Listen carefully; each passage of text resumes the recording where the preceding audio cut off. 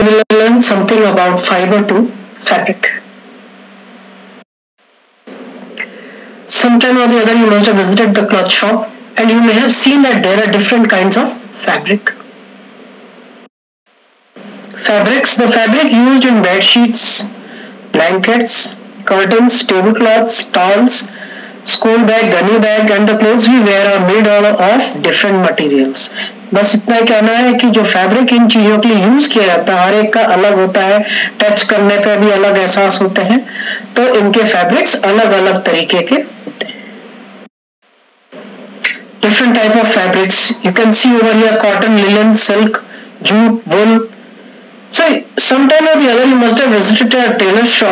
and seen these kind of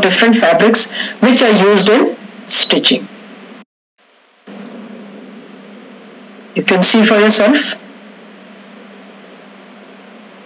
the different fabrics, the appearance of silk, it's quite different from others, that of satin that is used, jute it is slightly coarse and so on. Fabric, the fabrics left over after stitching are of different kinds. If you feel them, they are different. Cotton is different from silk. The feel of terracotta is different from woolen fabrics. If you have a closer look, you will find that the fabric is continuous piece. That is, यानी कि अगर आप fabric को पास से देखेंगे तो आप देखेंगे कि वो एक एक तरह से है एक जैसा है तो आप ये पहचान भी पाओगे कि सिल्क का कपड़ा है तो पूरा की पूरा उसमें शाइन रहता है सॉफ्ट होता है तो आप पहचान जाते हो कि ये सिल्क है ऐसी कॉटन का भी होता है पूरा एक सॉफ्ट रहता है, एकदम जैसे एब्जॉर्ब कर लेता पानी को, ऐसा पाया जाता है। कंटिन्यूस होता है fabric is something that is continuous लगातार एक जैसा। Yarn take a piece of cotton fabric you try to find a loose thread or yarn at one of the edges and pull it out use a pin or a needle to pull out if there are no loose yarns so if you are going to have a maybe a cotton fabric, maybe some old piece of cloth that has been left, or maybe some type of cloth that has been left at home uh, after your clothes have been stitched, so that can be used, and you can simply see that there are loose yarns that are coming out and you can easily pull it out as you can see in this figure. It is seen that a fabric is going to be made up of yarns. Fibers. Now take out a yarn from a piece of cotton fabric. Place this piece of yarn on the table. Now press one end of the yarn with your thumb and scratch the other end of the yarn along its length with your nail. You will find that the yarn splits into thin strands and these thin strands are called as fibers. तो कभी आपने देखा होगा कि धागा ऐसी उठा के देखा होगा और धागे को अगर आपने सुई में डालने की कोशिश भी की होगी तो अलग हो जाते हैं ये जो अलग हो जाते हैं तो ये धागे का हिस्सा होता है और इनको थिन स्ट्रैंड्स को हम फाइबर्स कहते हैं types of fibers the fabric is made up of yarn and the yarn is further made up of fibers ये तो आपने देख ही लिया है the fibres of some fabrics such as cotton jute silk wool, are obtained from plant and animals. These are called natural fibers.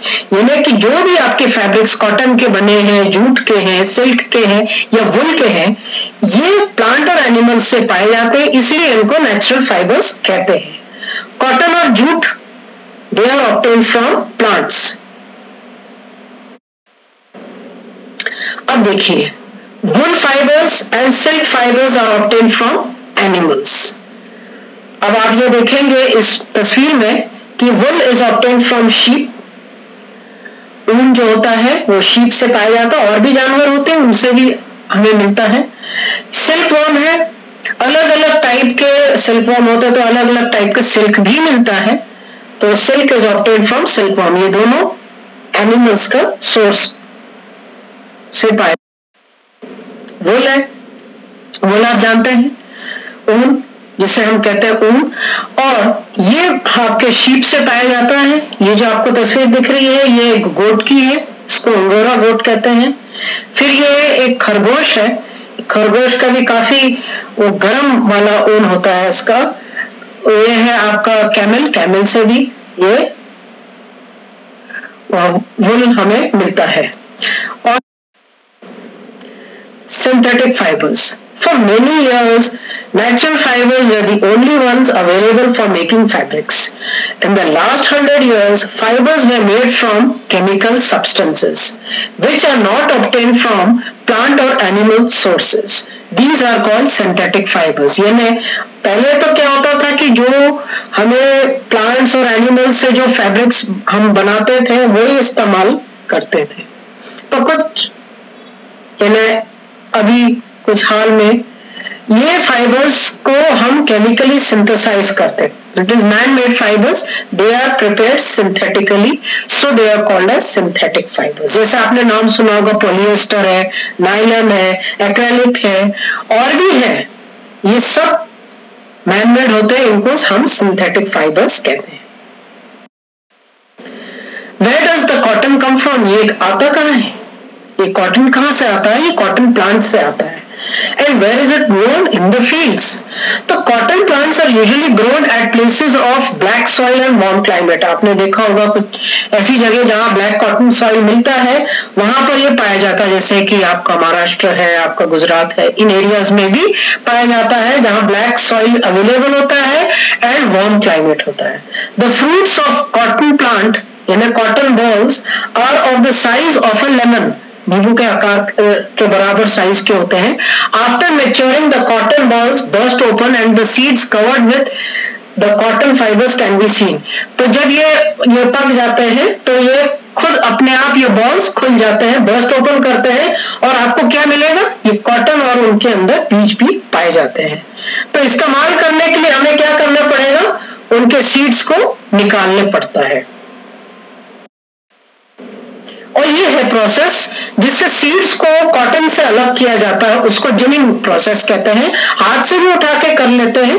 Cotton is usually picked up by hand from these bolls fibres are then separated from seeds by combing this process is called as ginning of cotton now ginning was traditionally by hand यानी पहले हाथ से किया जा रहा था।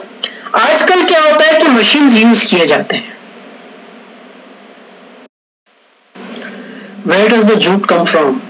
Jute fiber is obtained from the jute plant. Jute plant is cultivated in the rainy season. In India, mainly it is grown in West Bengal, Bihar and Assam and it is normally harvested at its flowering stage. The stems of the harvested plants are immersed in water for a few days. The stems rot and fibers are separated by hand.